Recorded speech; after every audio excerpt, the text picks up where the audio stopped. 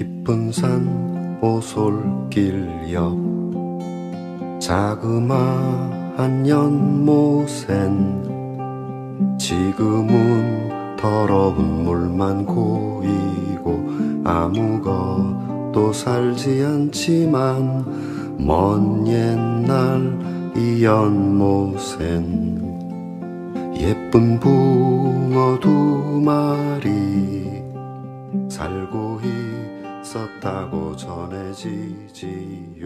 깊은 산 작은 연못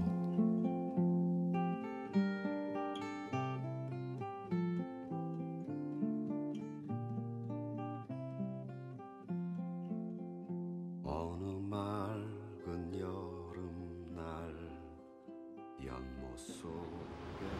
선생님 댁으로. 어머 대원분이 쫓아 들어왔겠는데 그날이 일요일 날이었는데. 네네 네 학교를 안 가고 있는데 등 열고 나가는데 저쪽에서 막새 돌고 있고. 아 어, 붙여서 이제 그때는 막 붙여서 뛰어 들어가서 예 저쪽에 타거나 그 머리 깨진 학생은 재수생인데 아, 머리를 이렇게 서른 몇 번을 아. 좀 방치하면 죽죠 그러죠. 그때 뭐 10kg짜리 방망이로 두들겨 패드렸습니다. 그랬던 학생이 그 재수생인데 남은 살. 아.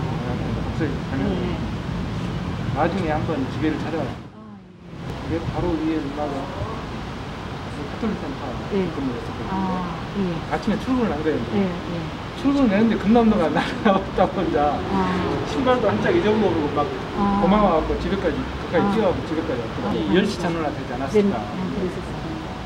뭐 그런 과정 하여튼 열흘 동안 뭐 엄청났죠 그러니까요. 선생님은 거기가 댁이신 거예요? 아니면 우리 집이었죠 아, 부모님 부모님이 살아계 계셨으니까. 한입도 갔을 우리 텐데. 첫날 또 그러다 보니까 네. 근데 우리 이제 친구들이 그 근처에 많이 살았었는데 친구들은 잡혀가고 막 음, 지나다니다가 음. 뭐 그때는 이유가 없으니까 네. 갈리면은 26일 날 그 전날 새벽에 네, 정확히 기억은 안. 나는데 12시나 1시 뭐 그 정도 무렵에 네. 평소보다 총소리가 많이 나. 그때 아마 상당수는 네. 걸러진 거죠. 네, 그렇죠. 그런 상태에서 이제 그 다음날 이제 아, 네. 진짜 그러니까 그 방송. 다들 그러니까 그 목소리가 막 계속 들렸었거든요. 아. 내 기억에는 새벽에 뭐라고 하냐면 바로 도초가 가까우니까 네, 네. 그 차로 다니면서 아마 그 방송하니까 거의 막 울먹이면서 방송하는데 뭐 정확한 멘- 멘트는 잊어버렸는데 광주 민주 시민 여러분 지금 대원분들이 들어오고 있으니까 여러분의 자녀들을 보내주셔가지고 도청을 사수해달라고 막 그런 아마 취지로 막 울먹이면서 방송했던 헬기로 네. 스피커로 방송하는 거예요. 네, 네, 네. 이제 합성기로 막 위에서 막 네. 방송하는데 뭐 폭도들은 투항하라. 아, 뭐 일반 시민들은 문을 닫고 나오지 말고 네. 폭도들은 투항 목숨만 보장하겠다. 뭐 그런 네. 취지로 아마 네. 뭐 헬- 헬리콥터 합성기로 아마 방송하는 소리 같아요. 네. 계절을 맞죠 어제 일 같아요. 그, 그게 어떻게 잊혀지겠어요?